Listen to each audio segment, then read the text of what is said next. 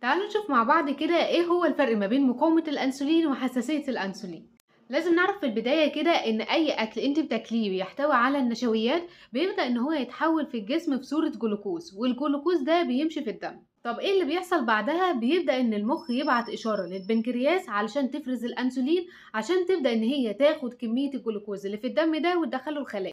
فإما إن هو بيروح للخلية علشان تبدأ إن هي تحرقه وتنتج الطاقة أو إن هو بيتم حفظه في الجسم على هيئة جلايكوجين بيخزن في الكبد والعضلات وليه بيخزن بالطريقة دي؟ علشان في فترة الصيام أو أنا عندي تمارين رياضية معينة أو بمارس أي نوع من النشاط يبدأ يتحرق المخزون اللي وينتج الطاقة كنوع من أنواع الاحتياطي اللي بنخزنه لوقت العوزه فلما يبقى موجود الجلوكوز في الدم وبيحصل إشارة من المخ للبنكرياس بيبقى البنكرياس عندها حدوث حساسية إن الأنسولين يتفرز في ساعتها عشان يبدأ إن هو ياخد الجلوكوز.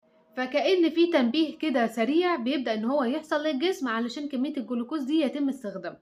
أما بالنسبة لموضوع مقاومة الأنسولين فبيبقى كمية الجلوكوز موجودة في الدم وهرمون الأنسولين عمال يتفرز بكمية كبيرة لكن المشكلة إن الأنسولين مش قادر ياخد الجلوكوز اللي موجود في الدم ويدخله للخلية وكأن في حاجة بتعرقل مساره إن هو يبدأ يستخدم الجلوكوز ويدخله للخلية وفي نهاية الفيديو لو عجبكم ما تنسوش تعملوا لي like و share عشان نوصل لأكبر عدد من المشاهدين.